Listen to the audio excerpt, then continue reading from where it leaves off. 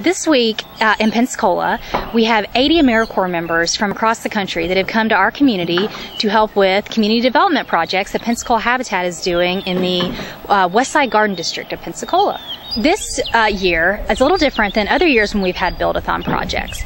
Pensacola Habitat is rolling out a new program called Neighborhood Revitalization Initiative, and the AmeriCorps members are here to help us kick off that event.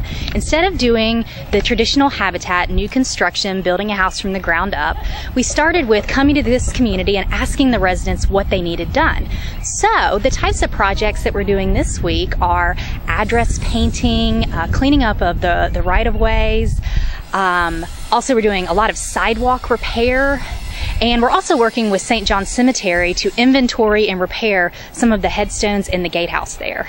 What we're hoping that this will provide to the community is just an uplift and a sense that Habitat is here to help the community with what the community needs. We're not just here to build new houses, we're here to provide the hands and the volunteer labor and the support to the community to complete the projects that are going to make them stronger, more vibrant places for people to live and to work and to play.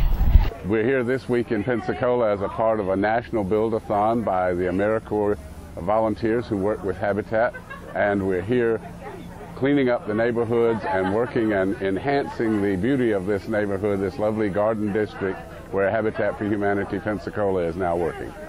And what Build-a-thon means to me is it really encompasses the Habitat for Humanity um, mission.